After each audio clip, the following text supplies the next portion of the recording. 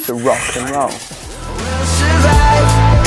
Cause parents ain't always right. Hello, hello, you're watching Digster Netherlands and today we were with a very, very special guest. Let's go to the star of today. He's a global phenomenon. He is a multi-talented artist and he inspires millions of people all over the world to be themselves. So welcome, Yungblud. Hello, how are you? How are you? I'm very well, man. I'm happy to be back in Amsterdam. I'm buzzing. when was your last time? Um, about three weeks ago, seeing my family, but playing here was like the Paradiso 2019. That's a long time ago. Too long.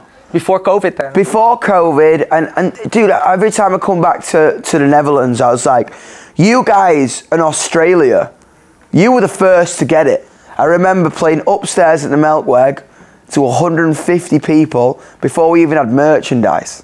And you're all were like making merch, so I'll never forget that. Crazy. Beautiful. Uh, the game is called Hot Balloons. Hot balloons. Yeah. So those balloons contain questions, all of them. But those Wow. contain, yeah, they're very small. I'm down. But some of them are normal. Those are in the green and yellow. Yeah. But the more spicy questions that you might be struggling with are in the red balloons. Oh, I'm down. So, I want uh, them. There are 10 of them. I- Three spicy, the other seven are normal. I love spicy to you. questions. I mean, we should definitely do the So it's up to you if you, yeah, I mean, I already. How uh, do you do this? Yeah, whatever. Shit. That's the first question Oh, right fucking there. hell. All right, cool. Most shocking moment with fans. shocking moment. We were in Warsaw and they went that crazy. They fucking broke the barrier. Last time. N- uh, like t- in 2019. Oh, we, They broke the fucking barrier. That's insane. But I saw like two weeks or what? When were you there last week? For, like, like two days ago, we're Right? in Yeah, because yeah. I saw you painting a flag on the, on Yeah. the streets, right? And I saw they they were all like going. Dude, I think it was that was so important. You know I mean? I think, as I say, like in our generation can really make a change because we've got the internet. You can't hide anything anymore. Everyone out there, like you have a voice. You know what I mean? You you should use it, and, and I want to encourage people that it's what they have to say is beautiful. You know what I mean? And, and as I say, in, in a place like Poland where it is dangerous to express yourself Yeah. in terms of gender and sexuality, we need to fight for them and with them. I thought it was super cool, and it was like extra hard paint to get off, right? It was like super. Oh yeah, it's lead paint. Good luck. good luck getting that off, you fuckers. Bang. All-time favorite song. I would say t- today it is. I'm waiting for my man by the Velvet Underground. It's just a game. That's Next one. What's this? This is safe one. Two favorite artists. My favorite artist right now, Bowie, David Bowie. I'm gonna go for another spicy one. I think that's just the fucking vibe, innit? You know what I mean? Given what they actually want to hear. Worst collaboration I ever did, you bastards. Um, I'm trying to think. I, I quite like my collaborations, but what was the worst one? Because we didn't get to see each other a lot, because everyone was all over the world, tongue tied. We didn't get to see each other. If you feel like that you're tongue-tied, then we're tongue-tied together. So can you even hear me now? Bear and Mellow, we didn't get to be together because everyone's busy. You know what I mean? yeah, yeah, that makes it, sense. It was, it was, it was, it was like maybe the most clinical one. Yeah, you don't get to really experience each other. so I just think that was it. Like. Yeah. like me and Willow are so tight. We're like really good mates. the video is so awesome as I well. just think we're fucking good mates.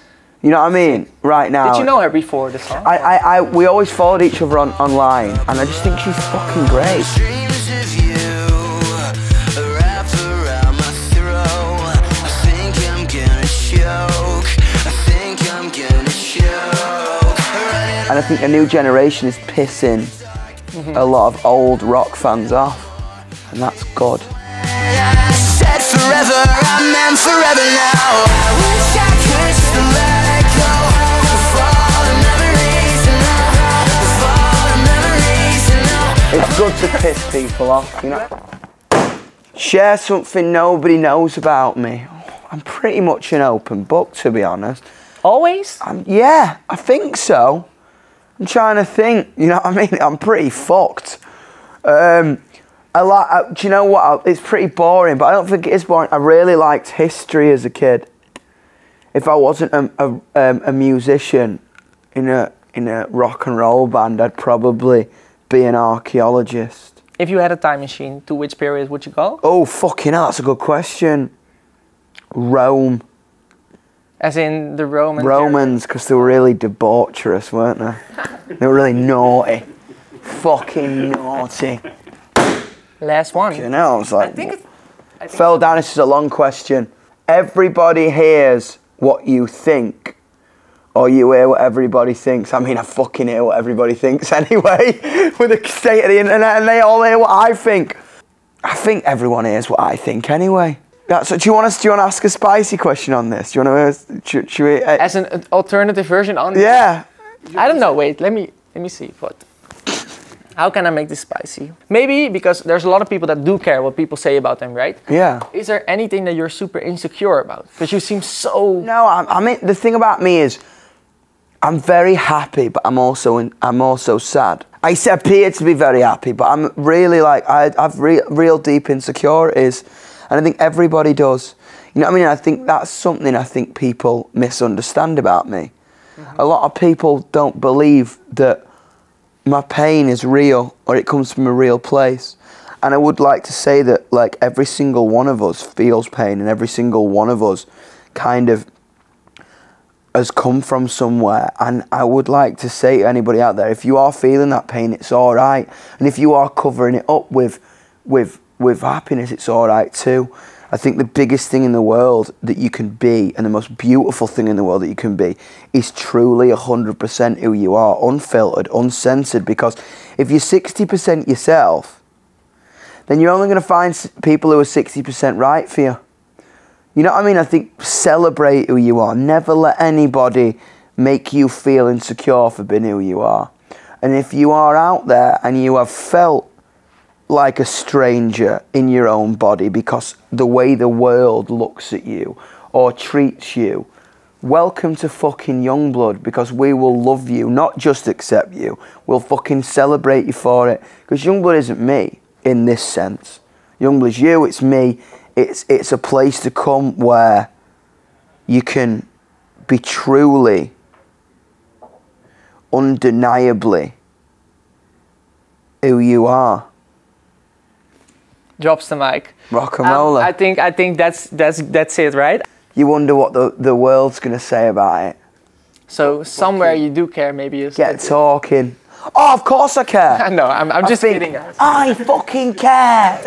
I'll uh, see you next time, and next wait. time play the Ziggo Dome. I love it, man. Hopefully, That's what touch wood. If uh, if everyone buys tickets. Thank you. Guys, don't forget to subscribe, Yeah, subscribe. hit the like button, and follow this guy Go. everywhere because he's inspiring and fun. If you can't be good, be careful. We'll survive, cause parents ain't always right.